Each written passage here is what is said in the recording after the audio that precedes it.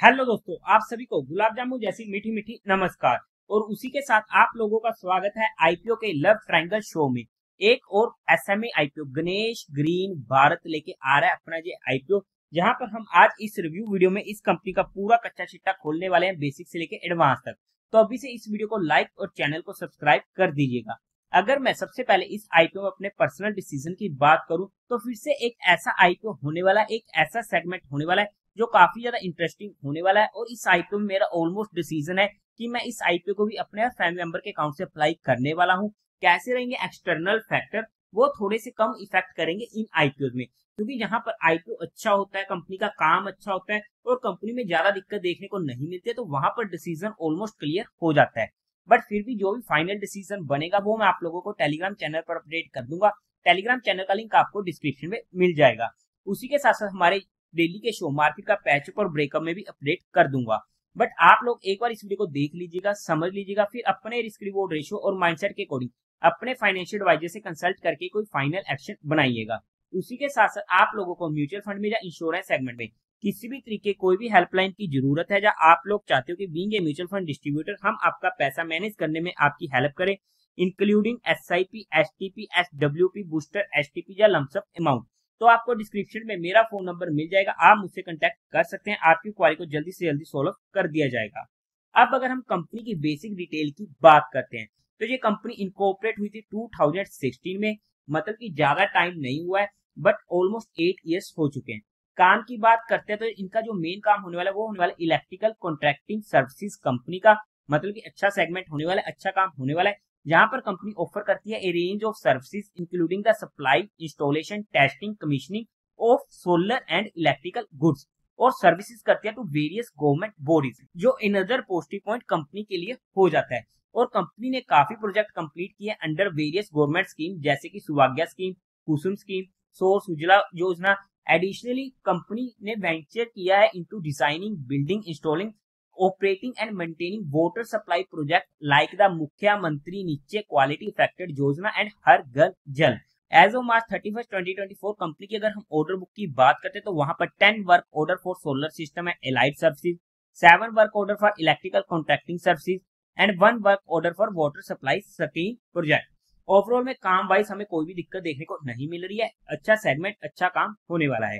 Company के पास ten engineers की टीम होने वाली है supported by third party consultant and industry expert और as of March thirty first company के पास 39 पीपल होने वाले हैं एम्प्लॉयमेंट में।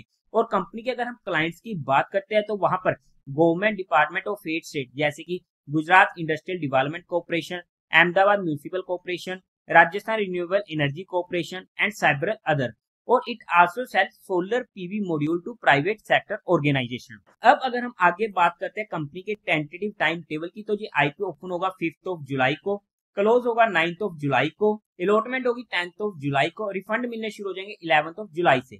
आपके अकाउंट में क्रेडिट हो जाएँगे share floated eleventh of July को टेंटेटिव लिस्टिंग डेट होने वाली है ट्वेल्थ ऑफ़ जुलाई की। फेस वैल्यू रहेगी टेन रुपीज़ पर शेयर की। प्राइस बैंड होगा वन एट्टी वन से वन नाइन्टी रुपीज़ का। बट हमारे लिए इंपॉर्टेंट है वन नाइन्टी रुपीज़ का ही, क्योंकि ये आईपीओ भी इजिली ओवर सब्सक्राइब होने वाला है।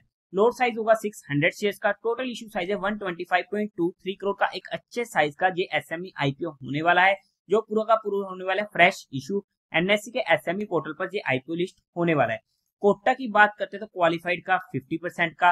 रिटेल कैटेगरी में थर्टी फाइव परसेंट का और एच में फिफ्टीन परसेंट का होने वाला है। लोड साइज़ में रिटेल कैटेगरी में एक लोड पड़ेगा सिक्स हंड्रेड शेयर का, जिसकी अमाउंट पड़ेगी one lakh fourteen thousand rupees की। एच एन ए कैटेगरी में मिनिमम दो लोड के लिए अप्लाई करना पड़ेगा, जिसकी अमाउंट पड़ेगी two lakh twenty eight thousand rupees की। प्रमोटर्स की बात करते तो वहाँ पर केतन भाई नरसिंह भाई पटेल, राजेंद्र कुमार, नरसिंह भाई पटेल, नीरव कुमार, सुरेश भाई पटेल एंड शिल्पा वैन केतन भाई पटेल कंपनी के प्रमोटर्स होने वाले हैं। प्री इशू होल्डिंग थी हंड्रेड परसेंट की, जो पोस्ट इशू रह जाएगी seventy three point four two percent की। अब अगर हम कंपनी के मेन मुद्दे की बात करते हैं, यानी कि कंपनी के फाइनेंशियल की तो वहाँ पर सबसे पहले टोटल असेट 2022 में थे 88 करोड़ के जो इंक्रीज होते थे 2024 तक पहुँच चुके हैं 150 करोड़ के अच्छी ग्रोइंग रेट होने वाली है। रेवेन्यू 2022 में था 106 करोड़ का 2023 में डिप देखने को मिला 90 करोड़ का एंड 2024 में काफ़ी बड़ा बाउंस देखने को मिला 171 करोड़ का। हालाँकि 2023 में डिप देखने को मिला है बट उसके बाद अच्छा बाउंस बैक भी किया हाउ एवर 2022 से 2024 में अच्छी ग्रोइंग रेट देखने को मिल रही है। प्रॉफिट आफ्टर टैक्स 2022 में था 5.2 करोड़ का। 2023 में 8.15 करोड़ का एंड 2024 में 21 करोड़ का। फिर से अच्छी ग्रोइंग रेट होने वाली है। नेटवर्क की बात करते हैं 57 करोड़ की। रिज़र्व एंड सरप्लस में 39 करोड़ का एंड टोटल बोरिंग्स कंपनी की 53 करोड़ की होने वाली है। ओवरऑल में अगर हम फाइनेंशियली देखते हैं तो अच्छे फाइनेंशियल देखने को मिल रहे हैं। हालाँकि हमें जहाँ पर 2023 में एक छोटी सी डिप देखने को मिली है बट हाउ एवर अच्छा बाउंस बैक हो चुका है तो उस वजह से कंपनी के फाइनेंशियल अच्छे होने वाले हैं। अब अगर हम कंपनी के ऑब्जेक्टिव की बात करते हैं तो इनको अपनी बोरिंग्स की कुछ रीपेमेंट्स वगैरह करनी है।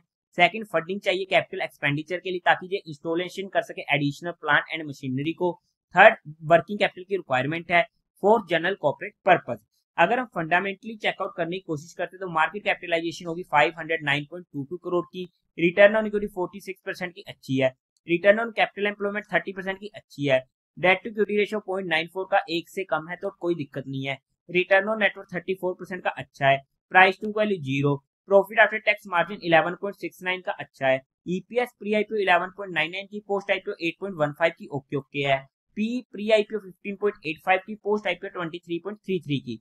तो फंडामेंटली भी अगर हम चेकआउट करने की कोशिश करते हैं तो अच्छे फंडामेंटल हमें यहाँ पर देखने को मिल रहे हैं।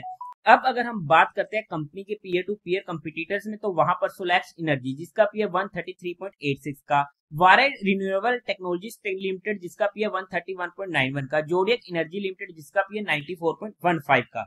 अगर हम पीयर टू पीयर कंपिटिटर्स के साथ कंपेयर करने की कोशिश करते हैं तो उस बेस पर तो ये आईपीओ में काफ़ी सस्ता देखने को मिल रहा है।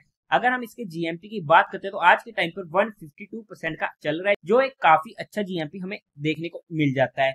और अगर हम बात करते हैं कंपनी के वैल्यूएशन की according to 2024 financial year data तो उस बेस पर ये आईपीओ फुली प्राइस होने वाला है मतलब कि ना सस्ता आ रहा है, ना ही महँगा आ रहा है। बट हमने यहाँ पर कंपनी को सिर्फ़ education learning and case study perspective study किया है, किसी भी तरीके, कोई भी इन्वेस्टमेंट टिप या एडवाइस नहीं है।